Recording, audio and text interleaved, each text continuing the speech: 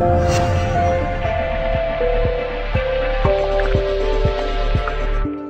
that we've got the screen up, we're here at our starting page of the Octoplant Pro Hub. And really, the Octoplant Pro Hub is designed to support both shop floor users and supervisory users. And it does so with a very, very simple setup. Let's have a quick look.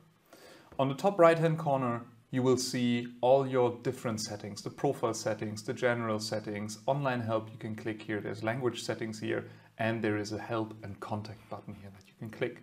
And on the left hand side, that's really where we can navigate into different dashboards. This is our starting screen and we can also extend this so that we directly see what is below here. We have the shop floor overview with all the information about the shop floor. We've got the log overview, which provides you with the logging of everything that went on. And we've got the admin overview for admin users to better understand and manage the system. And then here we've got the asset management capabilities that we're now launching as a beta and that I'll dive into in a second. And we have our custom reports here at the bottom where you can save your individually created or adjusted dashboards.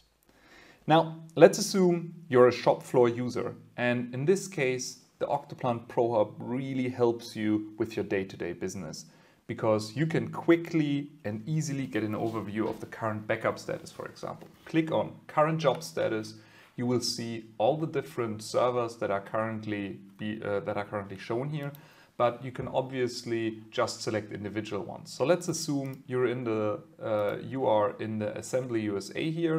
You can also um, use the permissions and the user settings to ensure that the users can really only see the servers they're supposed to be seeing. So in the assembly USA, we've got a total of 48 jobs. We've got one job here in error and we've got one job here in different. If you want to know, well, what is this actually? You can click on drill through, you can go through the drill through and then you get all the detailed information about this job and how it executed, when it last ran, how long it ran for, and so on. If you go back to the general overview here, you can also say, well, honestly, I don't like the layout of this dashboard. Very, very easy. You click on edit and then you say, well, I don't like a donut chart, for example, so I would prefer a bar chart. Then you click on a bar chart and you get a bar chart here. You can also change colors. Really everything is up for editing. At this point, you have two options. You can either save this view and then it was created as an individual custom dashboard down here at the bottom, or you can say, well, that was just what I, what I tried and played around with, and you can exit the edit mode here, and then it asks you again, are you sure that you want to say uh, that you want to discard this, or do you want to save your changes? Let's just click on discard here as an easier little process. Now, an additional question that you may ask is, how long have people been working on different components? We've really had a very exciting story with one of our customers who identified an issue with that that I'm going to show you in a second. So let's assume you are not in the assembly in the USA, but you're actually in the Mexico plant here. That gives us a little bit of a nicer overview. You can see how many of my components are currently locked. So you have 30, com uh, 20 com 30 components in total, 20 are currently being locked, 6 are not locked, and 4 are under development. Now, if you want to have a look into these components that are locked, you can actually check on this right hand side how long have they been locked for. And again, you can use the drill down function. So you click on this, you see which components are locked. If you click on it, it applies a local filter to this dashboard. You then see, okay, I have two RSLogix locked here. I have one um, that's, a, that's an S7 and one TIA Portal locked here, and also two CODESYS. But you can also get the detailed view. Again, right click on drill through, you get the drill through details, and then you see all of those locked components and the additional information for that. So you can see, for example, who locked these, when did they lock them, and how long have they been locked for. So here you see, for example, this component has been locked for 23 days. So that's really a point in time where you may want to go um, to those people here 22 days you will go to Haley and you will speak to them and check are they getting on with their project or not and what's the road blocker because having a component that's locked for 22 days that sounds a little bit like a red flag for me if we look into let's say a different user group and we say well we're not really the shop floor users we are more of the the supervisory level users. How does the octoplant pro hub help you here? Well it helps you get a super quick and easy overview of the backup status across your installations. And that way you can see if your safeguarding guidelines are actually executed on. Let's click on the historical job status. That will give you an overview of how things happened in the past. You will click you're in a supervisory level, for example, for multiple sites. Now you have an overview here that shows you the share of jobs that resulted in equal, which means that it basically shows you all of those jobs that aren't an issue because they did not result in an error or they are not different. So there were no unwanted or unplanned changes. This overview shows you, oh God, something went downhill here at some point. Now, we've got different bars in here, one at 70%, one at 30%. And you can change these thresholds and they're really just there to give you a visual guidance in terms of is this something that is critical or not. So let's assume we want to set the upper threshold at 85% and the lower threshold at 70%. Then we see that, you know, in um, on 8th of June, we had a little bit of an issue, right? We dropped with a consistency index is what we call this at 83%. So 17% of your jobs, one out of every five to six jobs went through an issue here. So it either had an error or it was different.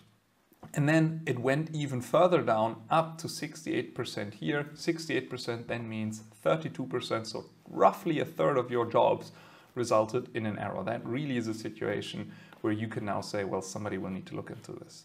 And if you want to identify who you're going to have to talk to, we can do that, right? We can check, is it the USA? You select up the USA here and you see, well, no, actually, the consistency in the USA is pretty high. Maybe next you want to check Mexico. And here again, you see in Mexico, there were a couple of outliers here, but generally speaking, the consistency again is very high.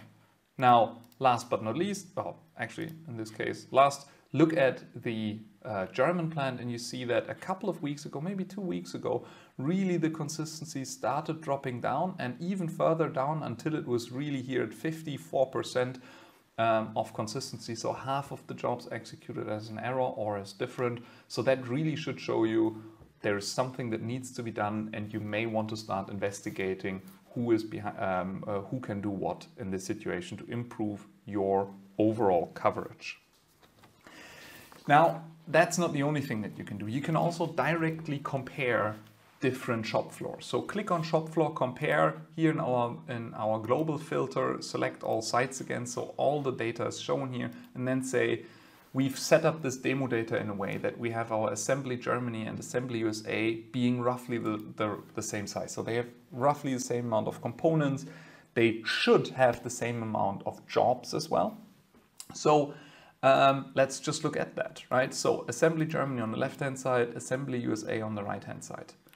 You click on this and you really click on it and then you already see, well, if I tell you the components should be roughly the same, then the jobs should roughly be the same. We immediately see on the left-hand side the number of configured jobs in Germany as at 286 versus only 96 in US. So your first action point and takeaway would be, you know, uh, stress with the management in the uh, or, or, with with your uh, shop floor um, uh, users again that they should be configuring more jobs in the US because that is the only way that you can create full coverage and that you can ensure that you are safeguarded in the case of downturn.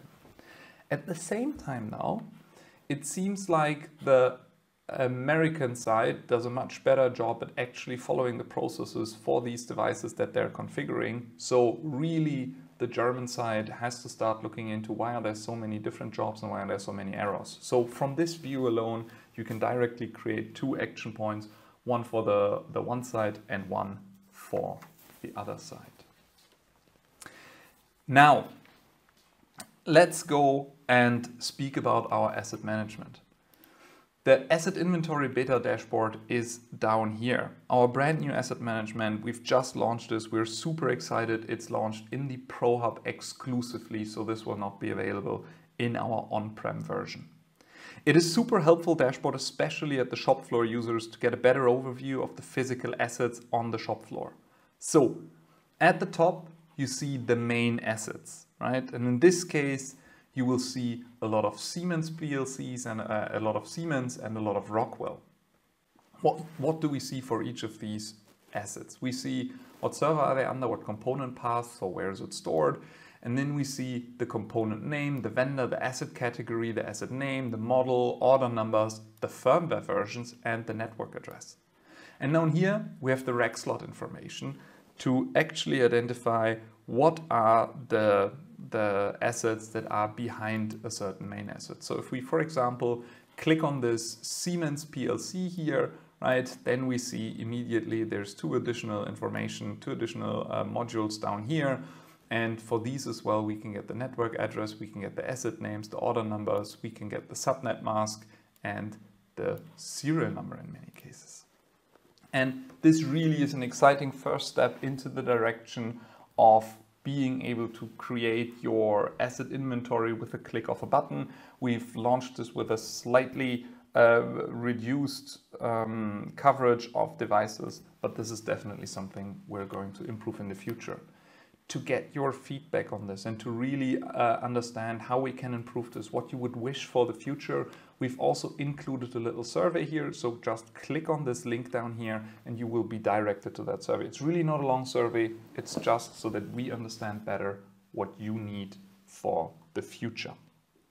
But one more thing. Let's just briefly create a custom report together, right? We've now seen asset management. We've seen all these dashboards that are there already. Let's just create one new one. Click on add a new report.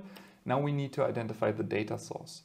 We will, for this case, use demo data that we, that we set up with. It's for an energy consumption use case so that we can track what energy consumption do we actually have. You click on continue and then you will get to the dashboard creation. And I just want to show you how easy and simple it is to create a dashboard that helps you really navigate and answer a couple of good questions. So let's say we first want to create a map, right? So we have a map here and we can go in and say, um, we want to see our factories first. So you click on your server. Here on the right hand side is the data model. The table is the data that you imported. Uh, so the, the data that comes from you, all the rest is the Octoplant um, native data which is relatively easy to get through. It looks a little uh, intimidating in the beginning, but if you've really uh, spent a very, very short amount of time on this, you already see it's very, very intuitive to get through it. So what do we want to see? We want to see, first of all, what servers do I have? So I take the server here and I just drag and drop it into Legends. So that way I know immediately what servers we would have. Then we say, well, actually, we know which town it is. That comes from the table that we've imported. And that town you can put in location because that's what you see. And here you immediately see those are the, the production facilities. You've got one in Mexico, one in the United States, and one in Germany here.